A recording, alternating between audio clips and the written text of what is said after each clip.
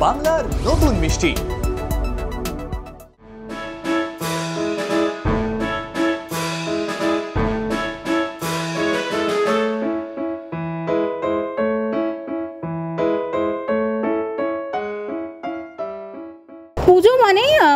Shopping তো আছেই তার সঙ্গে আছে হচ্ছে ঠাকুর দেখা। আর তার পাশাপাশি যেটা একদম ম্যান্ডেটারি মানে বাঙালিদের ভীষণ প্রিয় জিনিস সেটা হচ্ছে খাওয়া দাওয়া আর আজকে আমি এরকমই পুজোর খাওয়া দাওয়া মানে খাওয়া দাওয়া তো মানে আমাদের তো একটা প্ল্যান থাকে যে পুজোতে কবে কি খাব কোন রেস্টুরেন্টে যাব। তো আজকে আমি এসেছি ক্লাব ফেনিসিয়াতে আর আমার সঙ্গে আছে বনি এবং কৌশানী। সো কি খবর? পুজোর খাওয়া দাওয়া আজকে? আমাদের তো খাওয়ার জন্য রেডি তো? একদম আমি তো অলওয়েজ হুম। কৌশানী? আমি খেতে খুব ভালোবাসি বাট যেটা মানে আই থিঙ্ক খাওয়াটা ইজ দ্য ফ্যাক্টর যেটা আমাকে আর বনিকে বন্ড করে। কারণ দুজনেই আমরা খেতে খুব ভালোবাসি অ্যান্ড ও তো মোটামুটি যা খাওয়া শুরু করেছে ওকে যখন মাঝে মাঝে আমি বলছি তুমি কিন্তু একটা হিরো এটা ভুলে যেও না তুমি কিন্তু একটা হিরো তখন বলছে পুজো এখন কি আছে? এখন খেতে থাকি যা হবে পুজোর পর। মোটামুটি পুজোর পর পঁচানব্বই থেকে নিজেকে কমাবে তাও ভালো কিন্তু খাওয়া ত্যাগ করবে না। বনির এখন পঁচানব্বই কেজি ওজন নাকি? করে ফেলতে পারে। হ্যাঁ সেটা যে হারে যে বিরিয়ানি যেতে পারে চলছে। যে খাওয়া দাওয়া চলছে বাট চেষ্টা করছি অত দূরও না যাওয়ার পুজোর এমনিতে তোমাদের প্ল্যান এখন বলছি না, ছোট থেকে ছোটবেলার প্ল্যানটা কি করতে? ছোটবেলায় কি কি থাকতো? আমার দুর্গা পুজো মানে একটা, যেটা আমরা বলে থাকি যে বাঙালিরা সারাটা বছর অপেক্ষা করে এই পাঁচটা দিন পায় হাতে। তো চুটি আনন্দ করেন আমার প্রচুর কাজিনস মানে আমার ভাই বোনরা একটা বিশাল বড় গ্রুপ সো তখন আমার বাবার জিপসি ছিল সো সেই জিপসি গাড়িতে ওপেন হুড গাড়িতে ঘোরা সব ভাই বোনদের সাথে। তারপর পুজো মানেই হচ্ছে আমাদের বোনদের মধ্যে কম্পিটিশন হতো, কার বাবা কটা জামা দিয়েছে। তো সব থেকে বেশি আমি কম্পিটিশনে অলওয়েজ জিততাম বিকজ আমি এটা আগেও আমার ইন্টারভিউজে বলেছি আমি এক এক দিনে তিনটে করে জামা চেঞ্জ করি। সো আমার পনেরো থেকে ষোলোটা সেট থাকতো তখন। সো সেই জিনিসটা মানে এখনও কিছুটা যায়নি বিকজ এখনও বাবার থেকে চাই বাট সেই চাওয়াটা বদলে গেছে। জামা কাপড়ের জায়গায় সেটা এখন সোনার দুল সোনার সেট বা কিছু এরকম হয়ে গেছে। বাট এই জিনিসটা এখনও রয়েছে। তো ওই খাওয়া দাওয়া প্রচুর শপিং প্রচুর আমি প্রচুর শপিং করতে ভালোবাসি। আর বনি এবারে পুজোতে তুমি আমাকে কোথায় কোথায় নিয়ে যাচ্ছ সেটা বলো। কোথায় কোথায় নিয়ে যাচ্ছি? আচ্ছা। আমাদের তো কোথাও না কোথাও যাওয়া থাকেই। এবারে নতুন খুলেছে হচ্ছে আইটিসি। সেখানে তো যাবই আমরা একবার ফর শিওর এখন আমাদের ওখানে ফুল ওই লামশাস বুফেটা খাওয়া হয়নি। আচ্ছা। তো ওটা একবার ট্রাই করতে হবে। তাছাড়া যেরকম আমি ওই যেরকম প্রচুর প্যান্ডেল দেখাই না? প্যান্ডেল হপিং করা যাবে খারাপ এটা শোনো খালি। একটা মানুষ পুজোয় নিয়ে গেছে। আর নিয়ে গিয়ে বলছে যে দেখো তোমাকে আজকে আমি কলকাতার সব ঠাকুর দেখাবো। এটা তো আমাদের পক্ষে এখন আর সম্ভব না যেটা আগে মানে নির্ভয়ে ঘুরতাম সব জায়গায় সেটা পসিবল হয় না। তো আমরা কয়েকটাই সিলেক্টেড পুজো যাই আমার ফ্যামিলিকে নিয়ে মানে আমরা পুরো ফ্যামিলি শুদ্ধ বেরোই। হ্যাঁ বলা থাকে পুরো প্রপার সিকিউরিটি নিয়ে গেলাম ঘুরলাম টুরলাম। আর এই ছেলেটা এত শয়তান আমরা বন্ধুরা সব বেরিয়েছি ধরো ওই রাত ভোর তিনটে ফিনটে বাজে এরকম আমরা পুরো চুটি এনজয় করছি এভরিথিং হঠাৎ ওকে বলছি যে তাহলে এই কটা ঠাকুর দেখার খুব ইচ্ছে বনি কীভাবে দেখা যায় কীভাবে দেখা যায় গেলে তো চিনে যাবে কী করা যায় ওড়না দিয়ে ঢেকে নিই বা কিছু। দাঁড়াও না আমি তোমাকে এখান থেকে দেখিয়ে দেবো সব ঠাকুর দেখিয়ে দেবো। প্রত্যেকটা প্যান্ডেলে নিয়ে গিয়ে গলির মুখ থেকে দেখিয়ে বাইরে চলে গেছে। এই দেখো এটা পঁচানব্বই পড়লি এই দেখো এটা আরে তুমি ভেতরে কাজটাই দেখলাম না খালি গেট। আমার মানে আমার বন্ধুরা না আমরা লাস্টে ইরিটেট হয়ে গিয়ে সিসিটিতে বসেছি ভোর চারটের সময়। ও এমন প্যান্ডেল হপিং করিয়েছে। ভেরি ব্যাড আরে না মুশকিল হয়ে যাবে তো ওখানে গেলে। একে তো গাড়ি খালি বলছে এই তো এটা পছন্দ। হ্যাঁ মানে কোনো একটা হয়তো প্যান্ডেলের চূড়াটা দেখা যাচ্ছে কোনো একটা পেছনের সাইডটা দেখা যাচ্ছে। এরকম ভাবে গিয়ে দেখি আরে প্যান্ডেলটা দেখলে হলো তো। সব সময় কি ঠাকুর দেখতে পারব মানে প্যান্ডেলের ভেতরটাও তো দেখতে হবে কত কেটে বানায় ওরা। হ্যাঁ সে তো নিশ্চয়ই ওই জন্য চেনাশোনাগুলোতে চলে যাই। যেগুলো চেনা নেই সেগুলো এরকম ভাবে দেখিয়ে দিই। দেখাতে হবে তো ম্যাক্সিমাম ওই ছোটবেলায় গুনতাম না এই একশোটা প্যান্ডেল দেখেছি দুশো মানে তো গুনে নিলাম যে এতগুলো দেখে নিয়েছি। প্যান্ডেলের ভেতরটা দেখেছি কে বলে? মানে ছো- ছোটবেলায় হেঁটে ঠাকুর দেখা হতো তাহলে। প্রচুর মানে হ্যাঁ মানে তখন প্রায় ডেলি বেরোতাম। আর আবার নতুন জুতো পরে ব্যান্ডেল। মানে এটা পুরো বাধা ধরা ছিল. অফকোর্স হ্যাঁ মানে এটা কি বলব আমার তো ছিল না। তবে বাট প্রচুর হাঁটতাম। এবং বন্ধুদের সাথে আর পাপা আমাকে দুদিন বের করতে মানে একদিন ফুল ফ্যামিলি জাস্ট যেতাম। আর আরেকদিন আমার সব বন্ধুদের নিয়ে যেত। তো দুদিন পাপা বাধা ছিল এবং ওই দিনগুলো জানতাম যে আমার পকেটে কোনো খরচা হচ্ছে না আমার পকেট মানি থেকে কিছু যাচ্ছে না। হ্যাঁ ওই দিন টেনশন ফ্রি থাকতাম ওই দুটো দিন। বাকি দিনগুলোই মনে মনে হতো যে এই রে এইটা আমার বন্ধুটা দিয়েছে তার মানে এর পরেরটা আমাকে দিতে হবে এরকম একটা চলতো। হ্যাঁ তো ওইটা একটা টেনশন কাজ করতো বাট হ্যাঁ এনজয় করেছি ডেফিনেটলি প্রচুর পুজো। আর এমনিতে আচ্ছা আমরা একটু খাবার দাবারের অর্ডার দিতে হবে তো? তো শুকনো মুখে আমরা অনেক গল্প করছি তো একটু দাদা একটু আসবে? বলো তুমি বলো তোমাদের স্পেশালিটি কি খাওয়াবে কি টেস্ট করাবে? শুরু থেকে স্টার্টার যাবে স্টার্টার একটা প্রি প্লেটেড আসবে চার থেকে পাঁচ রকমের স্টার্টার থাকবে তাতে ভেজ নন ভেজ মিলিয়ে প্রি প্লেটেড তো সার্ভিস করার কোনো ব্যাপার নেই। ওতে আপনি ফিশ প্রন মাটন সমস্ত কিছুই পাবেন। তাহলে আমরা কি এখন ওই ওই প্ল্যাটারই পাবো হ্যাঁ, নাকি? হ্যাঁ, হ্যাঁ। তাহলে ওটাই নিয়ে এসে। চুল করে নেবে পুরো একদম। মানে প্রচুর খাবার শেষ করা যাবে এরকম একটা ব্যাপার। একদম। স্টার্টার স্টার্টার প্রথমে এলো আগমনী। স্টার্টার খাওয়ার পরে তারপরে আমরা পেট পুড়ে খাও সেকেন্ড কোর্সটা রেখেছি। পেট পুড়ে খাওয়ার মেন কোর্স আসবে পুরো প্রি প্লেটেড থালি টাইপের অনেক গেস্ট আসবেন ফার্স্ট টাইম আসবেন। ফার্স্ট টাইম দুর্গা পুজোতে ভিজিট করে সিগনেচার আইটেমগুলো যাতে মিস না করে ওইগুলো আমরা সমস্ত কিছু অ্যাভেলেবেল রাখছি। তো কিছু এশিয়ান খাবারও আমার সিগনেচার ডিশ রেস্টুরেন্টের যেগুলো আছে সেগুলোও ট্রাই করাবো আচ্ছা। বা- মানে আমরা খাওয়া দাওয়ার অর্ডার তো দিলাম। তোমাদের এমনিতে কি ধরনের তোমরা কি ধরনের খাবার খেতে পছন্দ করো? খাবার তো মানে সব কিছুই খেতে ভালোবাসি বেসিক্যালি আর পুজোর সময়টা একটু ওই বাঙালি খাবারটা বেশি টানে। অষ্টমীর দিন বাঙালি ডেফিনেটলি হ্যাঁ। লুচি দিয়ে শুরু করলাম। আর লুচি আলুর দম তারপর মানে বনির একটা জিনিস ডেলি চলে সেটা হচ্ছে কষা মাংস। বেসিক্যালি ওটা মাটন পুজোর সময় মাটনটা আমি হ্যাঁ, ওটা আমি ডেলি প্রায়। ওটা মানে বিরিয়ানি হলেও মাটন সাইড ডিশ হলেও মাটন বাঙালি খাবার হলেও সেটা কষা করে মাটন মানে এটাও চাই। ঠিক আছে আর রেড মিট না খেলে জোর পাবো কোথায়? সেই সকাল থেকে বেরিয়ে রাত্রির চার মানে ভোর চারটে ঢোকা আবার। মানে সেই পুরোনো দিনের একটা কনসেপ্ট ছিল না যে মাংস মানে মাটন চিকেন আবার কি করে মাংস মাংস হয়? নাকি মুরগি। মানে আমি আমি ঠিক আই লাভ চিকেন আর মানে আমরা যেটা আর কি অষ্টমীর দিন we always go for a traditional খাবার মানে পুরো বাঙালিয়ানা খাবার বাঙালিয়ানা সাজ। অ্যান্ড এরকম প্রচুর ওর সাথে ওকে সিলেক্ট করে দিই আমি এরকম কুর্তা যেগুলো পরে সুন্দর সুন্দর শেরওয়ানিজ অ্যান্ড কুর্তা সেগুলো অষ্টমী আর নবমীর জন্যই রাখা হয় আমাদের প্ল্যান করে। আর আচ্ছা দাঁড়াও আমাদের শেক এসে গেছে। তোমাদের খাবার। স্ট্রবেরি শেক এসে গেছে। ও আচ্ছা ওই জন্যই আটটা থেমে গেল। আর কিছু বলতে পারল না। থ্যাংক ইউ আর কিছু বলতে পারল না বেসিক্যালি অ্যাকচুয়ালি আমার চোখটা পড়ে গেছিল এটা থেকে সো থ্যাংক ইউ আর এমনিতে তোমাদের ওই ছোটবেলায় মানে ভোগ তো ওই পাড়ার প্যান্ডেলে যে একটা ভোগের ব্যাপার থাকতো না? সরি ওকে মন দিয়ে খেতেও দিচ্ছি না আমি প্রশ্ন করে যাচ্ছি। ওকে ইয়েস বলো। তো পাড়ার প্যান্ডেলে বা প্যান্ডেলে বলো বা বাড়িতে এখন তো তোমাদের মানে বাড়িতেও তো পুজো হয়। আগের বার দেখেছিলাম আমি। তো সেই বাড়ির যে ভোগ ভোগের বিষয়টা কতটা এনজয় করো ভোগটা বেসিক্যালি যেটা আমরা করি সেটা হচ্ছে আমি বাবা মা আমরা সব বসে লিটারালি ডিসাইড করি যে কি কি রাখা যেমন সবার পছন্দের খাবার। আর ভোগের একটা আলাদা, সেটা হচ্ছে যেটা মাকে দিই আমরা, খিচুড়ি আলাদা করে, খিচুড়ি, তরকারি, পায়েস। আর এই পায়েসটা আমরা কোনো ঠাকুরকে দিয়ে রান্না করাই না, এটা আমাদের বাড়ি থেকেই তৈরি হয়, যেটা মাকে আমরা ভোগ হিসেবে দিই। তো এই খাবারটা ডেফিনেটলি এটার একটা আলাদাই মজা, আলাদাই স্বাদ। আর প্রথম আমরা খাবারটা শুরুই করি ওটা খেয়ে মানে ওটা খেতেই হবে, নাহলে বাড়ি থেকে একটা বিশাল ঝাড় পড়বে। ওটা খেয়ে তারপর রকমারি খাবারগুলো আসে পরপর। ভোগের একটা হ্যাঁ আলাদা খিচুড়ি ভোগটা মোটামুটি এটা পেটেন্ট আমাদের হ্যাঁ মানে ওটা থাকতেই হবে পুজোর সময়। আমার পাড়ায় যে পুজোটা হয় সেটা মানে এখন মহিলা সমিতিই দেখে। মানে আগে আমাদের ছিল হচ্ছে শুধু দিওয়ালির যেটা হতো সেটা মহিলা সমিতি দেখতো বাট এখন দুর্গা পুজোটাও হয়ে গেছে।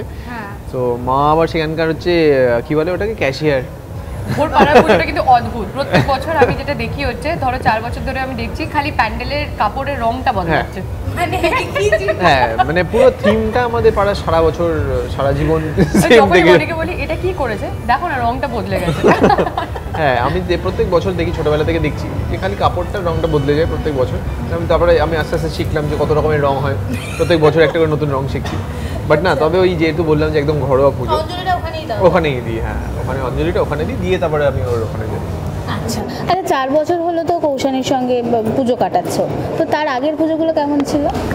তার আগের পুজোগুলো? তার আগের পুজোগুলো মোটামুটি না ওই বন্ধুদের সাথে এমন ঘুরতাম যে আমায় খুঁজে পাওয়া যেত না। মানে বাড়িতেই ঢুকতাম না। তখন যেহেতু তখন কলেজের টাইম চলছে আমাদের দর্শকরা জানতে চাইছে এই বন্ধুদের মধ্যে হ্যাঁ। মহিলা কতজন ছিল। ঠিক আছে? আমাদের দর্শক বন্ধুরা জানতে চাইছে ওপারে। মানে আমরা আমরা আমি আমি হ্যাঁ? আমি ইকুয়ালিটিতে বিলিভ করি। গল্প শেষ নেই। আর কি বলবে বলো? গল্পই শেষ নেই। যবে থেকে আমি এসে খালি গল্পই শুনে যাচ্ছি। আমি ইকুয়ালিটিতে বিলিভ করি যে আমরা য- কটা ছেলে বেরোতাম সে কটা মেয়ে থাকতে হয় না? এটা বাজে লাগে না। ক্লাস ফোর থেকে প্রেম করা শুরু করে। তাহলে তার আর পুজোর প্রেম বলে আলাদা বৈশিষ্ট্য কি থাকবে? আমাকে একটু বলবে? ক্লাস? হ্যাঁ ইংলিশ ম্যাম পড়াতে আসছে তার সাথে প্রেম। বায়োলজি টিচার আসছে তার সাথে seven, eight এ প্রেম। বলেছি আমি। তারপর পুজোর প্রেম বলে একটা ব্যাপার আছে। ইংলিশ হ্যাঁ বলেছে আমরা হ্যাঁ। ছিলাম হ্যাঁ। সেভেন এইটে তখন ওগুলো ইনফ্যাচুয়েশন ক্রাশ তারপর কি? তারপর তারপর প্রত্যেক বছর ভাষা প্রত্যেকটা ও কিন্তু একটা জিনিস কিন্তু খুব ইম্পর্টেন্ট না বনি কিন্তু কোনো জাত ভেদ করে না। এটা কিন্তু ঠিক। বনি সব জাতিকে নিজের করে নিতে পারে কাছের করে নিতে পারে তাদের ভাষা বলতে পারে। আমরা আচ্ছা। ঘুরতে গেছি। সেখানে গিয়ে হঠাৎ একটা মানুষকে আমি তো বলতে পারছি না নেপালি ভাষা ও নেপালি ভাষা বুঝিয়ে দিচ্ছে হ্যাঁ আমার এই মোমো চাই এই চাই। আমি না অবাক ওই কিছুক্ষণ পরে জিজ্ঞাসা করলাম এটা কি করে হলো?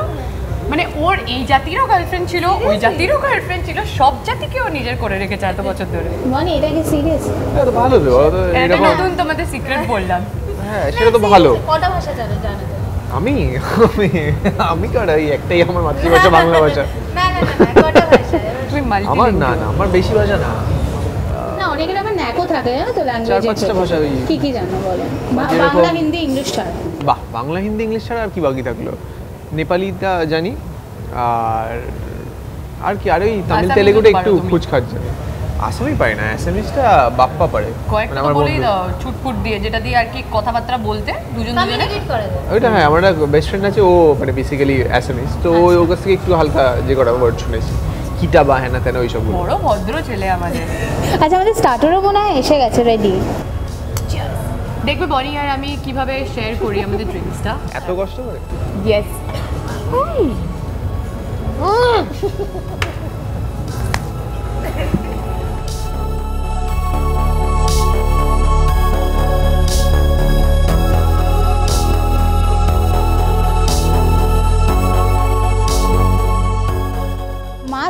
ভালোবাসে এতে আমি আমি খুব ভালোবাসি। ও খুব কম খায়। ও বেশি ভালোবাসে হচ্ছে যেটা বললাম মাটন আর আদারওয়াইজ প্রন প্রন খেতে খুব ভালোবাসে ও। চিংড়ি হলে কাঁকড়া হলে এইগুলোতে বনিকে পাবে। বাট মাছ হ্যাঁ ডিফিকাল্ট বাট ওই কাঁকড়ার ঝালটা যখন করে বাড়িতে সেটা বছরে একবার হলেও জিনিসটা খেতে খুব ভালো আচ্ছা মনে কতবার রান্না করে খাইয়েছে? রান্না? আমি তোমাকে বলছি যে চা পর্যন্ত করে খাওয়াইনি তাকে তুমি রান্না বলছো? কি বলছো? প্রচুর রান্না করে কি কি রান্না করে খাইয়েছে? চা রান্না করেছি। ভেরি ব্যাড চার বছরের চা। আমি আসলে রান্নাটা এত ভালো করি তো একবার নিজের খুব খিদে পেয়েছিল। ম্যাগি বানিয়ে খেয়েছিলাম তারপর থেকে বলছিলাম যে এটা কাউকে খাওয়াতে পারব না নিজেই ওইটুকু বলো আমি কি বানিয়ে খাইয়েছি ওকে? সেটা ওকে জিজ্ঞাসা করো। ও ও খুব ভালো রান্না করে। প্রচুর কিছু বানিয়ে খাইয়েছে আমাকে এবং তার মধ্যে পনির খুব ভালো ছিল। আইটেমস বাট আমি রেগুলার ওই ডাল ভাত পারি এগুলো। এই ডিশগুলো নর্মাল নাম হয় না। ও নাম দিয়ে দেয়। যেটা হয়তো বইতেও লেখা থাকে সেটার বাইরে ও নাম দিয়ে দেয়। নামগুলো বলে দাও পনিরের আইটেমটা চিকেন আইটেমটা নামগুলো একটু। আচারি চিকেন আচারি চিকেনটা নাম শোনা। হ্যাঁ তাহলে বলো তুমি। আচ্ছা। কি আছে? পনিরের দুটো আইটেম করেছিলাম আমি পনির বাটা মশালা আর একটা করেছিলাম কি জানো? তুমি নিজের নাম আঙ্গুরি পনির একটা করেছিলাম। তাই। পনিরটা কি? ওই আঙ্গুরি আঙ্গুর ইউজ করে আঙ্গুরি বাবা। গ্রেভিটা তৈরি। পারে না নিজে কিছু করে খাওয়াতে আবার বড় বড় কথা। খালি জাস্ট ওকে অর্ডার করলে ওইগুলো ভালো শোনে বাট কিছু করে পসিবল না। আচ্ছা এমন কোনো সারপ্রাইজ দিয়েছে যেটা মানে প্রচণ্ড রকমভাবে ফ্যাসিনেটিং ছিল তোমার কাছে? এইসব কোথাও হয়তো গিয়ে ট্রিট দিল বা হ্যাঁ সেটা ওকে যদিও আমি শুরু থেকে শিখিয়েছি যে এটা করতে হবে। আর তারপর ও খুব ভালো স্টুডেন্টের মতন জিনিসগুলো করেছে। মানে সারপ্রাইজও দিতে নাম্বার ওয়ান আচ্ছা। ও জানে ভালোভাবে যে আমি মানে আমি ছোটোবেলা থেকে খুব প্যাম্পার্ড তো বনিও আমাকে সেইভাবেই প্যাম্পার করে রাখে। আচ্ছা। খাবারটা টেস্ট করো খুব ভালো খেতে হ্যাঁ সে তো হবেই। খুবই টেস্টি হ্যাঁ খাবারটা খেতে হ্যাঁ। পেলাম আমারটা হচ্ছে তপসি মাছের আমি এতক্ষণ হ্যাঁ, আমারটা হচ্ছে এটা কি? মোচা তাই তো? এটা মোচার চপ। মোচার চপ। আমারটা। পাতি চিকেন। চিকেন কাবাব আমারটা একটু তোমাকে এটা ভেজ ভেজ একটু ঠিক এতটা বনি আমি ছোট ছোট খেয়ে না পারবে সব পারবে। হ্যাঁ। এই তো বুঝতে পারলে কতটা খায় তার মানে? লাভ স্টোরির শুরুটা একটু বলো না কীভাবে শুরু আমাদের লাভ স্টোরি শুরু আমাদের লাভ স্টোরি শুরুতেই মানে প্রচুর বাধা ছিল। হ্যাঁ একটু শুনি না লাভ হ্যাঁ। স্টোরিটা আমি ঠিক জানি না তোমাদের। আমাদের লাভ স্টোরি না আমাদের প্রচণ্ড ইন্টারেস্টিং লাভ স্টোরি মানে মানে তখন হ্যাঁ তখন দুজনেরই একজন আছে আমাদের। আচ্ছা। এবং হ্যাঁ এবং কোনোভাবেই আমরা ভাবিনি যে কোনোদিন একজন আরেকজনের উপর ট্রাইও করব। হ্যাঁ। না তখন মানে তখন তো অত কিছু ভেবে চিন্তে এগোয়নি। তখন মানে আস্তে আস্তে যখন কাজ করতে শুরু করলাম বা দুজনকে চিনতে শুরু করলাম দুজন দুজনকে তো তখন মনে হলো যে না মানে আমার যে হয়তো মিসিং আউট পয়েন্টসগুলো যে রিলেশনশিপে আছে সেগুলো হয়তো ওরও অনেকটা সিমিলার বা সেই যে দুজনের যে আমাদের ইকুয়েশনটা সেটা অনেকটা আমাদের দুজনের সিমিলার তো সেই দুজন দুজনকে যখন ওই মানে লাইকিংটা শুরু হয় আস্তে আস্তে সেখান থেকেই আস্তে আস্তে ফিলিংটা মানে ডেভেলপ হয়। সেটাই আলাপ তার আগে কি আমাদের হ্যাঁ আমাদের ওয়ার্কশপে আলাপ হয়েছিল। ওয়ার্কশপে আলাপ হয়েছিল বিকজ আমি মানে খুব একটা বাংলা ছবি দেখতাম না সব ভ্যারাইটির তো কয়েকটাই দেখতাম অ্যান্ড যখন আমি জানতে পারি যে ও আমার অপোজিটে আছে তো সেদিন আমি গাড়ি চালাচ্ছিলাম অ্যান্ড আমি জানতে পারলাম যে বনি বলে কেউ অভিনয় করবে আমার অপোজিটে তখন আমি ফার্স্ট গুগল করি যে কে। অ্যান্ড প্রথম গানটাই আমি দেখি হচ্ছে আহ শোন না। তো অবভিয়াসলি সেখান থেকেই বনিকে ফার্স্ট দেখা and তারপর রাজদার ওয়ার্কশপে যেতে যেতে যেতে যেতে বাট প্রথম দিনই বনি একটু ভেবেছিল হালকা একটু হালকা একটা ব্যাপার ওর মধ্যে ছিল যে এত সুন্দর দেখতে একটা মেয়ে আমার অপোজিটে কাজ করবে। সেটাও প্রথমেই ভেবেছিল। একদম না তখন আমি খুব টেনশনে ছিলাম। তুমি কি মিথ্যে বাড়ি মানে আমাকে এক বল আর ক্যামেরা এক বলছো? না না না তখন খুব টেনশনে ছিলাম। কেন? তখন আসলে আমার যেহেতু সেকেন্ড ফিল্ম হ্যাঁ। সেটাতে একটা কমপ্লিট ট্রান্সফরমেশন দেখানো ছিল। তো সেই জন্য প্রচণ্ড টেনশনে ছিলাম। তো তখনও ওরকম আমরা বললাম তো তখনও মানে আমাদের দুজনের মধ্যেই ছিল না ওরকম কিছু। আচ্ছা। তখন ওরও টেনশন কাজ করছে বিকজ ওরও আই থিঙ্ক ওয়ার্কশপ তখন শুরু হয়েছে এবং তার আগেও একটা অসাধারণ একটা ইয়ে করেছিল লুক টেস্ট করেছিল। সেটা দেখে আমরা সবাই আপ্লুত হয়েছিলাম এবং সেই ভিডিওটা কোনো দিন পাই আপনাদেরকে আমি দেখাবো। এটা আমরা করে থাকি আমাদের মধ্যে। কি করব? এই ছবিটাই আর হলো না। এমন লুক সেট করে যে সিনেমাটাই আরে আমি মানে শুরু থেকেই সবাইকে বলেছি অনেস্টলি যে আমি রাজদাকেও ফার্স্ট দিন এটাই বলেছিলাম যে আমি পারব না রাজদা। আচ্ছা। আমাকে দিয়ে করিও না এসব আমি জাস্ট এটার জন্য তৈরিই হইনি। বাট না তোকে তুই কি পারিস কি না? মানে আমার কোনো দিন অডিশন হিসেবে কিছু হয়নি। আমাকে তিনটে প্রশ্ন করা হয়েছিল একসাথে মিলে রাজদা আর প্রডিউসার মিলে করেছিলেন। অ্যান্ড মানে ফার্স্ট জিনিস যে অভিনয় পারিস কি না আমি বললাম, না। কথা বলতে পারিস? আমি বললাম হ্যাঁ প্রচুর। আর নাচ বললাম দ্যাট ইজ মাই ফর্টে নাচ আমি খুব ভালোবাসি। তো এই তিনটে দেখে বলল ডান ছবি তুই করবি, আর এটা ডু অর ডাই সিচুয়েশন এখানে তুই আর কাঁদলে বা ব্যাক আউট করতে চাইলেও তোর কাছে অপশনই করতে হবে। সেই থেকে শুরু হলো ডায়েট চালু করা লাইফে ফার্স্ট একুশ দিনের ডায়েট অ্যান্ড সেখানে পাঁচ কেজি একুশ দিন আমি কমিয়েছিলাম পার্বণার আগে। অ্যান্ড তারপর ওখানে গিয়ে পুরোপুরি একটা অ্যান্ড তখন আমাদের ওয়ার্কশপ করা হচ্ছে কাঞ্চনদা। মানে সে কাঞ্চনদাকে বড় পর্দায় যেভাবে দেখে এসেছি আর ওয়ার্কশপের সময় যেভাবে ঝাড় দিল আমাকে? ওয়ার্কশপে আমি তো মানে অবাক মানে আমার কাঞ্চনদাকে নিয়েও ভয় হয়ে গেছিল। অ্যান্ড তারপর সেখান থেকে বোলপুরে শ্যুট কৃষ্ণনগরে শ্যুট এক মাস আর এই প্রথম ফ্যামিলি থেকে এত দূরে এক মাস পুরো। সো আমার কাছে প্রচণ্ড চ্যালেঞ্জিং ছিল। আর প্রত্যেক দিন ওখানে ভিড় জমে যেত তিনশো সাড়ে তিনশো লোকের। ভাবতো আমরাকে তো আমার আমার সিকিউরিটি আমাকে বলতো যে ধরো আমি ওয়াশরুম যাব বা আমি মেকআপ ভ্যান অব্দি যাব ওরা আমার পেছন পেছন যাচ্ছে। আমি তো অভ্যস্ত না।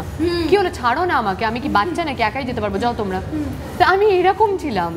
ভিড়ের মধ্যেও আমি একা গিয়ে দাঁড়িয়ে থাকতাম ক্রাউডের মধ্যে বিকজ আমি বুঝতাম না এই ব্যাপারগুলো অত। হ্যাঁ ওই তখন ওর ফ্যামিলি থেকে দূরে থাকতো তাই জন্যই আমার থেকে ওই ফ্যামিলি ভালোবাসাটা পেয়েছে। মানে পুরো ব্যাপারটা ওর দিকে চলে গেল নাকি? না তারপর কি হলো? মানে তারপর তো ওখানে গিয়ে আলাপটা হলো। হ্যাঁ তারপর ওখানে আলাপ হলো এবং আস্তে আস্তে যখন তখন তো প্রায় আমরা কতদিন একসাথে আমাদের শ্যুট হয়েছিল?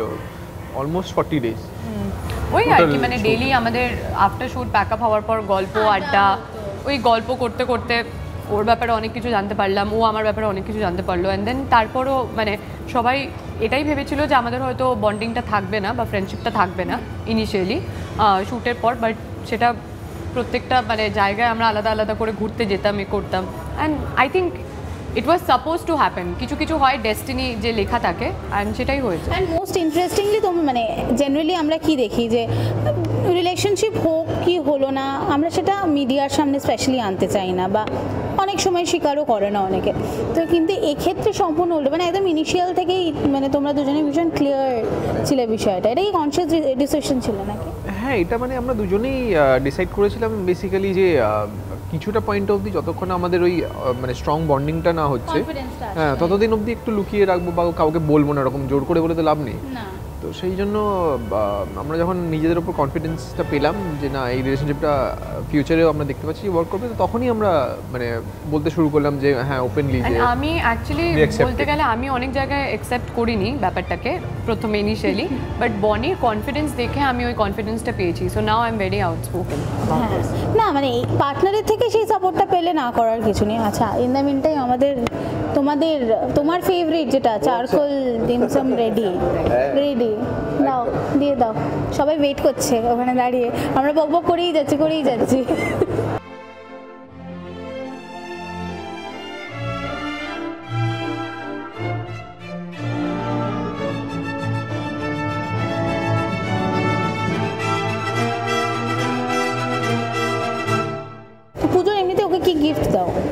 প্রত্যেকবারই কিছু না কিছু দিই ওকে। ওর মোস্টলি লেহেঙ্গা না? তোমাকে যে এতদিন ধরে যেগুলো দিয়ে এসেছি। হ্যাঁ। শাড়িও দিয়েছি হয় সালবার দিয়েছ। সালোয়ার স্যুটস এন্ড অল এগুলোই মেনলি ওকে মানে বেসিক্যালি আমি যে ডিজাইনারের থেকে নিই সেখান থেকে আমি চুজ করে নিয়ে নিই অ্যান্ড বনিকে বলে দিই যে আমি গিয়ে কার্ড নিয়ে রেডি থাকি। এ নিন। হ্যাঁ সো আমার শপিং বলতে পারো যে অলমোস্ট আমি যেটা তোমাকে বলছিলাম যে সারাটা বছর কিনে কিনে এমন হয়েছে যে অলরেডি এত জমে আছে। তারপর এখন যখন কিনছি বাবা আমাকে প্রশ্ন করছে এটা তুই পরে উঠবি তো? এই বছর পরে উঠবি তো? কারণ আগের বছর এগুলো এখন আমি পড়িনি। সো আরেকটা জিনিস হচ্ছে যেটা মানে আমাদের পুজো শপিং বলতে গেলে আমরা কি করি? আমরা পুজোর ঠিক কিছুদিন আগে আগে হলেও গিয়ে বাইরে বিদেশটা ঘুরে আসি। হ্যাঁ। ওখান থেকে ভর্তি ভর্তি জামা কাপড় নিয়ে আসি।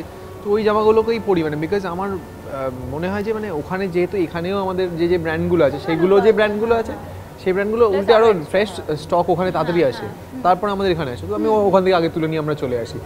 আর আচ্ছা পুজোর ভোগের যদি কিছু মেমোরি শেয়ার করতে মানে অনেকের তো মেমোরি থাকে এরকম ধরো ভোগের মেমোরি লাইক মানে আমার একবার মনে আছে যে একটাই মেমোরি আছে যেটা পুজোর ভোগ নিয়ে হুট করে মাথায় এলো যেটা। সেটা হচ্ছে একবার আমাকে প্রচুর ওয়েট করতে হয়েছিল লাইন দিয়ে দাঁড়িয়ে আমাকে খেতে হয়েছিল। সেটা হচ্ছে আর তারপর আবার আমার পাড়ার পুজোয়। হ্যাঁ আর আমাকে তার আগের দিন ওই যে ওই ব্যাচ দেয় না হ্যাঁ না তখনও হয়নি। তখনও না আলাদা ছিল। আমার মনে হয় যে ব্যাচ দিয়ে দিয়েছিল না ভলেন্টিয়ার বলে খুব খুশি হতাম। হ্যাঁ ভলেন্টিয়ার মানে সব কিছু আগে আগে পাবো।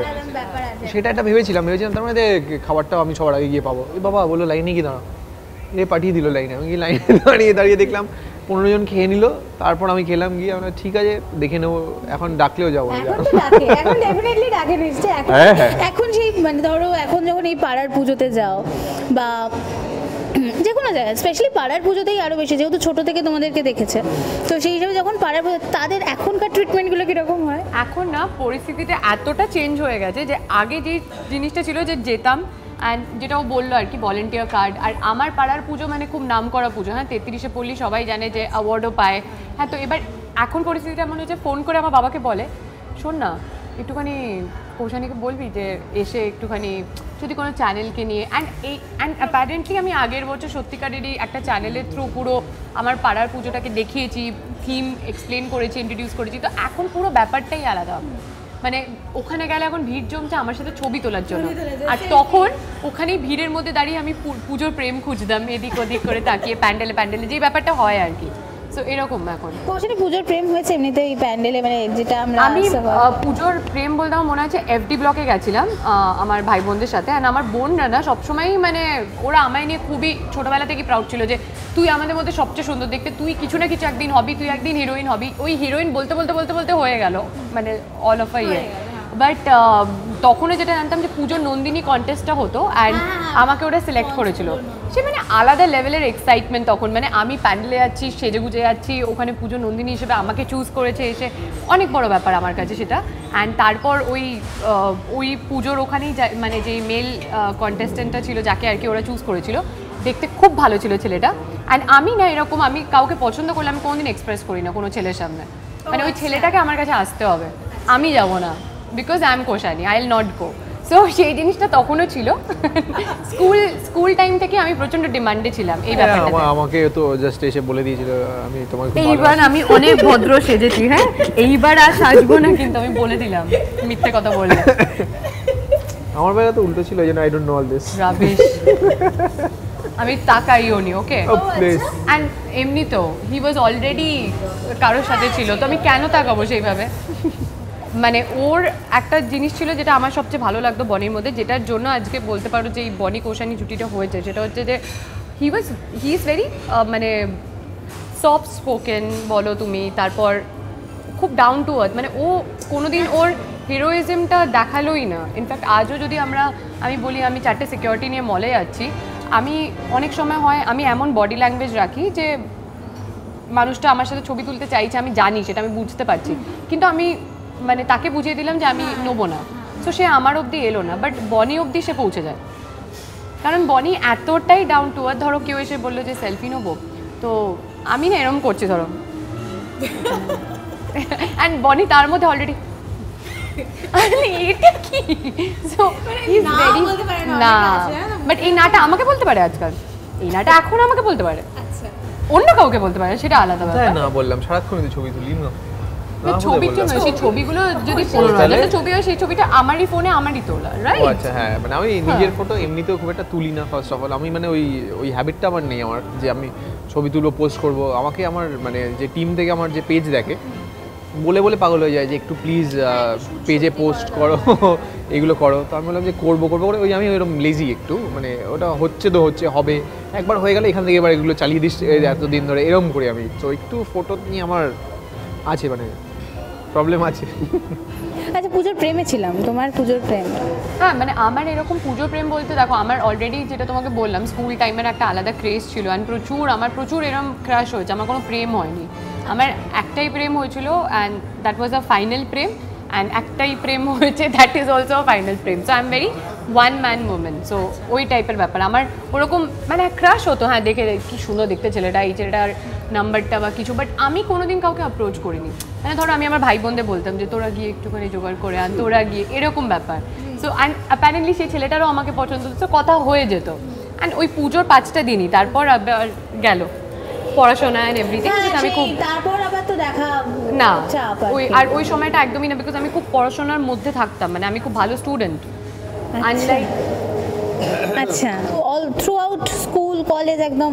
থ্রু আউট আমার দুটোই আমার বেস্ট অফ ফাইভে নাইনটি ফোর পার্সেন্ট ছিল। সো আমার আমার আমি ওই জন্যই আমি এই ব্যাপারটাতে আমার প্ল্যানিংই ছিল না এটা নিয়ে কোনো কিছু। বাট আমি যেটা বললাম ডেস্টিনি তুমি কি করতে এমনিতে? এমবিএ ও এমনি আমার বম্বেতে আমি বলেওছি আগে ইন্টারভিউতে আমার বম্বেতে অলরেডি তখন ইন্টারভিউ হয়ে গেছে। ওটা দিয়ে এলাম অ্যান্ড আমাকে এসবিএফ থেকে ডাকলো। আমাদের আরও কিছু একটা নিয়ে দাঁড়িয়ে আছে আমি অনেকক্ষণ ধরে দেখছি। হ্যাঁ। হ্যাঁ আমাদের স্টার্টারেই পেট ভরে গেছে প্রায়। Chongqing style prawn from our ACN kitchen. Wow আমি দেখো প্লেটে এগিয়ে দিয়েছি সবার আগে। ইয়া জাস্ট ওয়ান অ্যান্ড বাকি দু পিস ওখানে দিয়ে দাও তো দু পিস কেন? তিন পিস চাইলেও দিয়ে দিতে পারো পুরোটা শেষ করে দেবে দায়িত্ব নিয়ে। খাবে খাবে করে ইয়ে হ্যাঁ ও খাবে কিন্তু আমরা কেউ তোমার সাথে পেরে উঠবো না।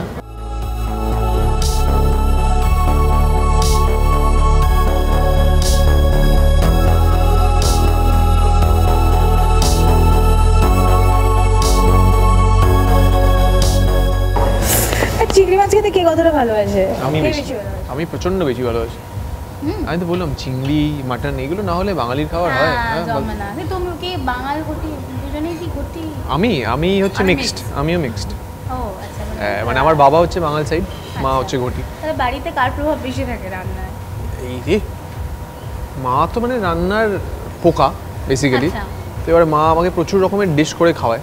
মানে প্রচুর টেস্টিং হয় এবং সবার আগে টেস্টিং মানে টেস্টটা আমাকেই করতে হয়। এবং ভালো হয় ব্যাপারগুলো। তারপরে নিয়ে গিয়ে ম্যাডামের কাছে এটা দেখো আজকে নতুন করেছে ওটা আজকে করেছে এইগুলো তো আবার ওখানে চলে হচ্ছে বেসিক্যালি ওই মুরগিটা যে মুরগিটাকে কাটার আগে বলে দেয় যে তোকে কাটা হবে। খেতে হবে হ্যাঁ বাইরে খুব ভালো খেতে। তো ফার্স্ট ওকে খাইয়ে দেখিয়ে নেয় যদি ভালো হয় তারপর আমার কাছে ওটা চলে আসে। আর কৌশানী এমনিতে তোমার কোনো ভোগের মেমোরি আছে কি? ভোগ বলতে আমার পাড়ার পুজোতে আমি এতটা বেশি ইনভলভ থাকতাম সো সকাল থেকে ঘুরে আসার পর বিকেলবেলায় চেঞ্জ করে পাড়ায় বসা অ্যান্ড ভোগ বলতে সেই নবমীর যে দুপুরবেলা যে ভোগটা বিতরণ হয় সেটাতে আমাদের বসে খাওয়ানো সিস্টেম মানে এরকম দিয়ে দেওয়া না হাতে হাতে। তো সবাই মিলে বসে খাওয়া দাওয়া একসাথে, সেদিনকে পুরো পাড়া বসে আমরা খেতাম। অ্যান্ড গল্প আড্ডা তো সেই মানে সেই আনন্দেরই অনেক স্মৃতি। এখন মিস করবে এই জিনিসগুলো? হ্যাঁ বিকজ এখন আর মানে আমার পাড়ায় সেইভাবে যাওয়াও হয় না অ্যান্ড সামহাও মানে এতজনের মধ্যে বসে ওইভাবে খাওয়াটা এখন আর হয়ে ওঠে না। আর রাস্তায় ফুচকা খাওয়াটা কি হয়? হ্যাঁ আমি এটা করি কিন্তু এখনও হ্যাঁ মানে আমি কিরমভাবে করি টুক করে ধরো প্রচণ্ড ভিড় আছে কিছুক্ষণ ওয়েট করি গাড়ির মধ্যে যখন খালি হয়ে যায় টুক করে যাই তাড়াতাড়ি পেছনে এরকম ঘুরে টুরে চুল টুল দিয়ে ঢেকে সুন্দর করে যে ফুচকাটা মেরে তারপর আবার গাড়িতে উঠে পড়ি। আমি এই জিনিসটা করি বাট আমি ফুচকা কিছুতেই ছাড়তে পারি না। মানে ও জানে আমি আমার আবার ফুচকার অতটা ফ্যান না মানে ও যেখানে খায়। হ্যাঁ।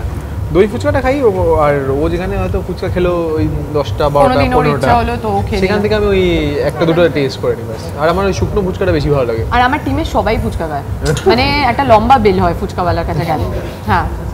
আর এমনিতে খাওয়া দাওয়া হলো পুজো শপিং সব কিছু নিয়ে আমরা আসলে কিন্তু তোমাদের ছবির কি প্ল্যান নেক্সট কি আমাদের হ্যাঁ আমাদের বেসিক্যালি দুটো ফিল্ম রেডি আছে। একটা তো হচ্ছে জানবাজ যেটা ছিল পাপার।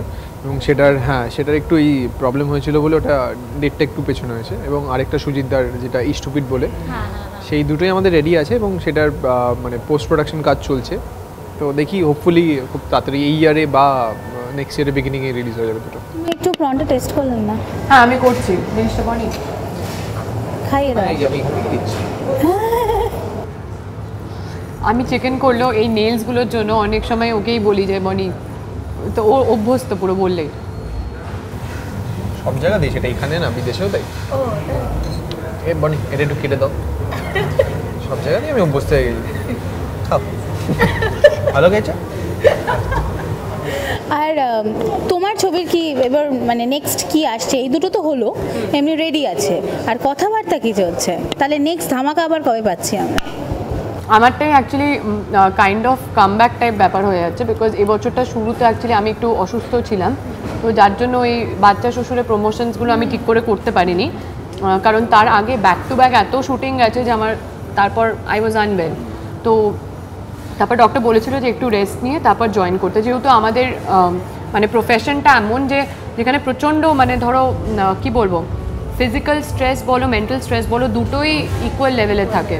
তো সেই ক্ষেত্রে আমার ফিজিক্যাল স্ট্রেসটা তখন অ্যালাউড ছিল না। তো আমি দু মাস এমনিই গ্যাপ নিয়েছিলাম অ্যান্ড তারপর এই ছবিগুলোর কাজ চলছিল প্লাস আমার অন্যান্য ব্র্যান্ড এন্ডোর্সমেন্টস চলছিল, এখন যেটা চলছে আর কি শুটিং আর এটা ছাড়া কথা চলছে বাট আজকে দেখো সত্যি বলতে গেলে আমরা জানি ভালোভাবেই যে বাংলা ছবি নিয়ে আমরা সবাইকে সবসময় অনুরোধ করছি, সব দর্শকদের যে বাংলা ছবি গিয়ে হলে দেখুক।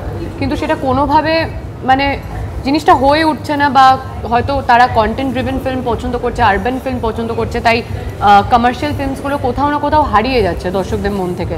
তো সেইটা নিয়ে পুরো ইন্ডাস্ট্রি আমরা প্রচণ্ডভাবেই চিন্তিত। কারণ আমরা অভিনেতা অভিনেত্রী হিসেবে আমাদের টু হান্ড্রেড পার্সেন্ট প্রত্যেকটা ছবিতে দিই। তো সেটা যদি কেউ না দেখে না দেখেই যদি আগে জাজমেন্ট পাস করে যে ছবিটা ভালো না বা এই ছবিটা কোনো ফিল্মের কপি তখন খুব খারাপ লাগে। তো হলও পায় না রাইট মানে ধরো বড় দুটো বলিউড ফিল্ম থাকলে আমাদের ছবি স্ক্রিন নাম্বারস অনেক কমে যাচ্ছে। তো সেই ক্ষেত্রে অ্যান্ড টাইমিংস একটা বড় ফ্যাক্টর দুপুরের টাইম দিচ্ছে যেটা হয়তো অর্ধেক লোক যেতে পারছে না। তো এই এই ধরনের সিচুয়েশনে এখন মনে হচ্ছে যে একটু চুজি হওয়া দরকার স্ক্রিপ্ট নিয়ে। অনেক কমার্শিয়াল ফিল্মস হার্ডকোর নাচ গান নিয়ে করেছি। এখনও করব ডেফিনেটলি বিকজ সেটাই আইডেন্টিটি বাট একটু অন্য ধরনের স্ক্রিপ্ট তো আমি এর মধ্যে একটু গ্যাপ নিয়ে তিন চারটে স্ক্রিপ্ট পড়েছি বাট পছন্দ হয়নি আমার কিছু না কিছু কারণের জন্য। দের আর রিজনস আমার পছন্দ হয়নি so I am waiting for the right script করলে ডেফিনেটলি আমরা এবার শেষ করব মানে খাওয়া দাওয়া হলো, নানা রকম আড্ডা হলো। তো ফাইনালি একটু দর্শকদের মানে যারা তোমার ফ্যান্সরা তোমাদের ফ্যান্সরা যারা ওয়েট করে আছে, তোমাদের থেকে একটা উইশ পাওয়ার জন্য। তো ওকে আমি বুঝে গেছি আমাকেই আগে বলতে হবে। আমরা সকল বাঙালিরা এই পাঁচটা দিনের জন্য অপেক্ষা করে থাকি তাই তোমাদের শারদীয়ার প্রচুর প্রচুর শুভেচ্ছা ভালোবাসা আর খুব ভালোভাবে এই পাঁচটা দিন কাটাও। এর মধ্যে কোনো ডায়েট কোনো ঝগড়াঝাটি নিজের কাছের মানুষদের সাথে আমি জানি সেটা হবেই বাট স্টিল ওই পাঁচটা দিন চেপে রেখে জিনিসটাকে পরে করো ঝগড়াটা ডেফিনেটলি অ্যান্ড ফ্যামিলির সাথে টাইম কাটাও নতুন জামা কাপড় পরো আর প্রচুর খাবার খাও কারণ এই পুজোর কদিন তো আর কোনো ডায়েট বলে কিছু হয় না আমাদের ক্ষেত্রেও না তোমাদের ক্ষেত্রেও না। So yeah have a happy Puja আমিও একই কথাই বলব। না একই কথা হবে না। আহ, কারণ না আর কিছু বাকি নেই। খাবার কথা হয়ে গেছে নতুন জামা হয়ে গেছে ঘুরতে বেরোনোর কথা গেছে আর কি বলব এরপর? তাই তো করি। হ্যাঁ সেটা তো আমি বলি আমি লাভ গুরু না টলি টাইমের সকল দর্শককে এটাই বলব যে পুজো খুব ভালো করে কাটান। প্রেম করো চুটিয়ে প্রেম করো একজন হ্যাঁ। রেখে আরেকজনের সাথেও করো। হ্যাঁ এবং যারা সিঙ্গেল ছেলেরা আছো তারা প্যান্ডেলে প্যান্ডেলে গিয়ে প্রেম করো এবং প্যান্ডেলে প্যান্ডেলে গিয়ে সব ক্রাশেদের খোঁজো। অ্যান্ড এনজয় পূজাস আর যেটা বলল যে খাওয়া দাওয়া করো ফ্যামিলির সাথে ঘোরো বন্ধুদের সাথে ঘোরো। অ্যান্ড প্রচুর প্রচুর প্রচুর ঠাকুর দেখো। অ্যান্ড পুজো খুব ভালো কাটুক তোমাদের। আর দু নৌকায় পা দিয়ে চললে কিন্তু কি হবে তোমরা সবাই জানো হ্যাঁ? সেটাও মাথায় রেখো।